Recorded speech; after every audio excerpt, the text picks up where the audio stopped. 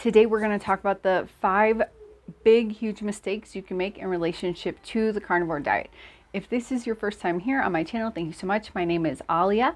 I'm an advocate for the carnivore diet, a low carb diet, and the proper human diet because it has helped me in so many ways and I had no idea. So I want to advocate it because I would like to help other people have similar results and uh, lead a happier and healthier life. So today, these are the five biggest mistakes a person can make in relationship, in my opinion, to the carnivore diet. Maybe I'll change my mind later and make a new video, but this is it right now. I'm going to give my number one biggest, biggest, biggest mistake at the end of the video, so stick around and find out what that is. All right, number five big mistake you can make on the carnivore diet is actually not eating enough food. If you are a yo-yo dieter or have been dieting for years, you're probably used to the fact of eating not enough food. Uh, a calorie restrictive diet, um, you know, if you want to lose weight, you have to eat smaller portions. So you're used to like starvation sort of diets.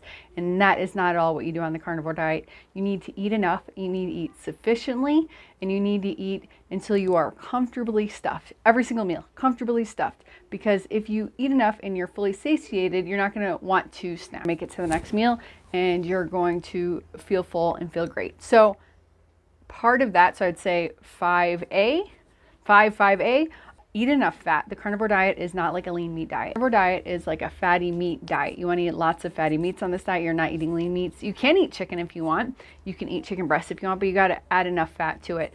It's definitely not a lean meat sort of thing.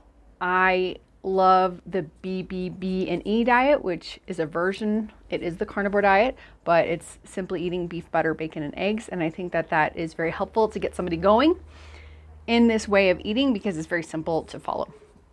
All right, I think eating too much dairy will ruin your results or could ruin your results on the carnivore diet or it could stall you on the carnivore diet.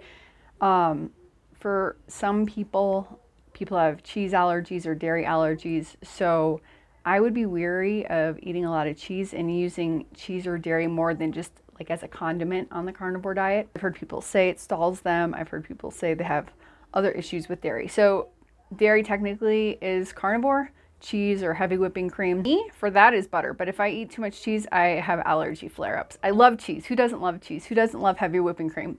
But that could be problematic for you on the carnivore diet. So treat dairy as a condiment and not as like a main thing or a snack. Go back to the last point I was talking about, eat enough. And in carnivore diet, a huge mistake is not having like a plan of action or a plan of attack that you want to follow. Like how are you going to go about doing this? Uh, what steps are you going to take? These are some ideas that I would have as your plan if you want to start the carnivore diet.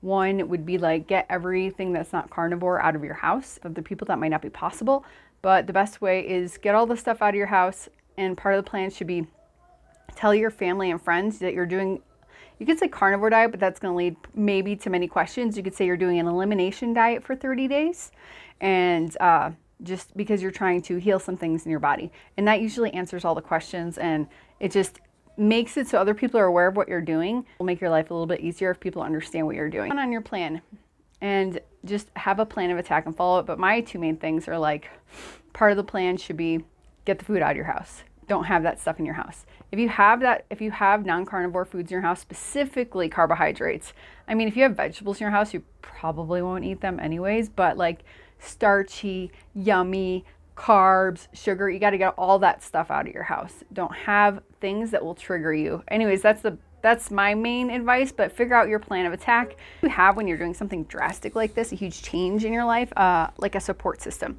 So luckily, there's crazy people like me on YouTube and a bunch of other of us that are here on YouTube, and we can help you be your support system. We do live streams. I do live streams. I try to do one at least once a week. Um, with other carnivore and low carb advocates. We're there, we can answer your questions, we can chat, we can joke. You just, it's better if you have more than one person on your side, especially if nobody else in your family is like working with you on this. You need to have that team. You can also find people on Facebook. Uh, carnivore groups. There's a group called Meat Sisters. Find that on Facebook. That's a great group of all females doing the carnivore diet and uh, supporting each other. Before we continue with this video, I would really like to know one, what mistakes do you think people can make on the carnivore diet? Please let me know in the comments. Also, if you find my content helpful, please feel free to subscribe, like, and share. Subscribe right now. and uh, turn on that notification button. Thank you so much. Here is my number one reason why people fail on the carnivore diet. Biggest, biggest, biggest, biggest, biggest, biggest mistake you could possibly make on the carnivore diet. Not even trying it. Don't even give it a chance. Just think that it's crazy and not do it, or be scared because you've heard all of these bad things about meat and you've heard all of these bad things about eggs and and uh, you know seed oils are heart healthy and butter is going to clog up your arteries yeah no not true uh, what i got to say about this is we've been eating for millennia human beings have been eating meat for a millennia now all of a sudden it's bad how do we survive so long if our main sustenance was animal products only in the recent past have we started to eat the Doritos, pizza, Domino's, Burger King, McDonald's, White Castle, Pizza Hut, etc. You name it. By the way, foods that are made in a box are super addictive. Tell me if you can only eat the serving size of an Oreo cookie, Oreo cookies. Uh, tell me if you can eat all, only three Doritos or whatever the portion is. No, you eat the whole bag. You eat all the cookies. And these are the main problems. I am not one who's going to be like vegetables are 100% bad for you. I seem to have issues with vegetables and so I stay away from them. It's absolutely the garbage that's created by big food in food factories by food scientists that get mass produced. That is the biggest problem of all. So those are the foods that you're those are the foods that you're addicted to and that you need to stay away from. And so there's all this marketing and propaganda about not eating meat, not eating eggs, all the bad things that cows do to the environment to keep you away from eating what's natural and healthy for your body. So the biggest mistake is not trying the carnivore diet, not giving it at least 30 days, and not experience amazing things that could happen to you by eating this way. Just try it 30 days. And absolutely number one biggest mistake is to not try it.